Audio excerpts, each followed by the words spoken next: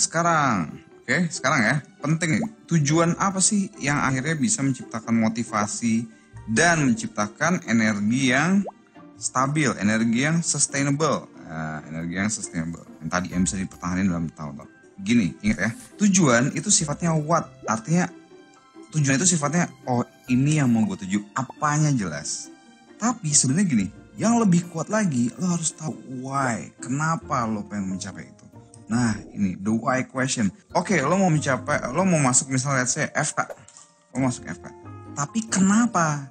Nah, kenapanya ini penting.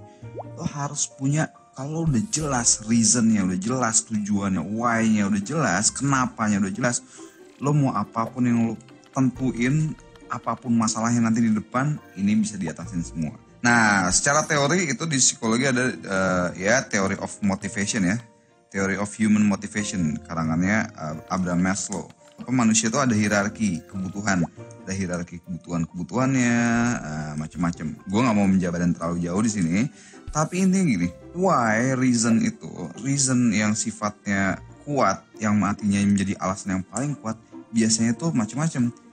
Alasan yang paling kuat tuh biasanya alasan karena takut fear ya reason karena lo takut misalnya nih uh, why reason reason ini? Lo harus punya reason why. Lo harus punya bayangin alasan yang sangat jelas dan sangat kuat ya. Reasonnya harus kuat banget. Secara emosional harus bersifat juga harus bersifat emosional.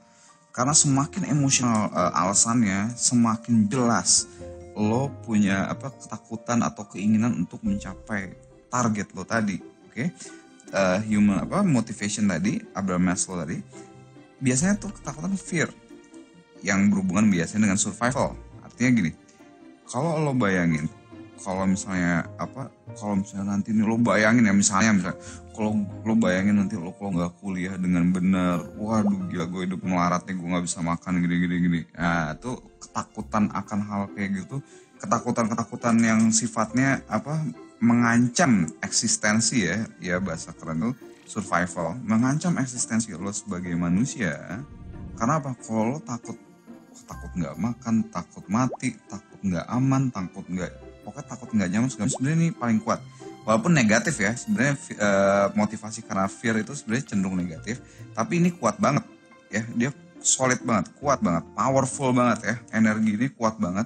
Jadi kalau lo uh, takut nih takut nggak lulus takut nanti kalau nggak lulus nanti hidup lo melatap segala macam ini sebenarnya ini juga ya walaupun agak negatif tapi dia efeknya luar biasa kuat. Nah itu tadi ya secara emosional dia harus kuat banget why reason yang kuat juga itu harus berhubungan dengan love atau hate. Artinya apa? Lo harus punya rasa cinta sayang atau rasa benci terhadap sesuatu. Itu penting banget artinya gini uh, reason lo misalnya waduh karena lo sayang banget nih sama misalnya sayang sama orang tua lo lo pengen banget nyenengin mereka kebayang bahwa nanti lo, lo di wisuda mereka ngelihat lo jadi apa jadi dokter jadi insinyur segala macam lulus dari UGM atau ITS atau UNAIR atau apa pun dan lo bangga mm, apa lo seneng melihat, melihat mereka bangga. Itu kuat secara emosional ya. Nah alasan yang karena sayang tadi itu akan berdampak bagus banget ya itu dampaknya bagus. Rasa sayang tuh kuat banget deh. Kuat banget juga ya karena dia sifatnya emosional. Terus juga mungkin uh, apa rasa benci. Rasa benci karena apa? Rasa benci kalau misalnya nih keadaan yang benar-benar nggak enak. Keadaan nggak enak. Gue punya teman. Gue punya teman. Jujur aja ini agak negatif sih ceritanya sensitif juga. Cuman uh, menurut gue luar biasa mengubah dia. Artinya gini dia punya pengalaman waktu kecil dia sering sering banget ngeliat bapak ibunya itu berantem gara-gara duit. Gara-gara duit gara-gara duit gara-gara duit. Emang sih secara ekonomi mereka hidupnya ya pas-pasan. Tapi sebenarnya nggak pas-pasan banget ya cukup bercukupan lah. Cuman cara pandang mereka orang tua tentang duit mungkin salah ya. Jadi uh, dia tuh benci banget kalau ngeliat bapak ibunya itu berantem soal duit. Akhirnya dia punya tekad. Pokoknya dia nggak mau punya masalah tentang duit. Kenapa? Karena mereka dia nggak mau punya masalah uh, dia nggak mau anaknya nanti ngelihat seperti apa yang dirasain. Nah karena benci keadaan kayak gitu itu jadi dorongan yang sangat kuat buat dia untuk sukses secara finansial ya. Di di ITB-nya sukses ya secara akademik oke okay banget.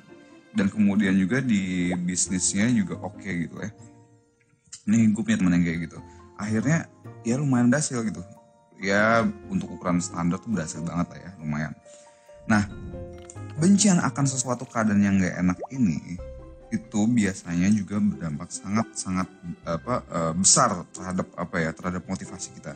Jadi selain love sayang sayang itu bisa terhadap orang tua sayang itu bisa terhadap kakak adik misalnya punya adik banyak lo sayang banget sama mereka lo pengen banget nunjukin ke mereka bahwa sukses itu bisa dicapai lo mau ngajarin mereka bahwa uh, apa ya macam-macam gitu. Nah itu juga oke okay, bagus bagus banget. Terus juga sayang misalnya lo ya ada ya beberapa orang yang sayang itu terhadap mungkin sesama terhadap sama manusia atau terhadap ya terhadap bangsa lah. Ada nih beberapa orang yang sangat sangat nasionalis. Sayang terhadap sesama dan terhadap bangsa membuat oh, peduli banget sama Indonesia misalnya. Peduli banget pengen banget Indonesia dibikin jadi bagus dan sebagainya. Karena sayangnya dan dia benci bahwa Indonesia misalnya ada ada kan ya Indonesia dianggap rendah lah ini itu dan sebagainya. Dan benci banget dianggap rendah akhirnya pengen membuktikan bahwa enggak pokoknya Indonesia tuh oke keren dan sebagainya. Bercita-cita tinggi dan itu kuat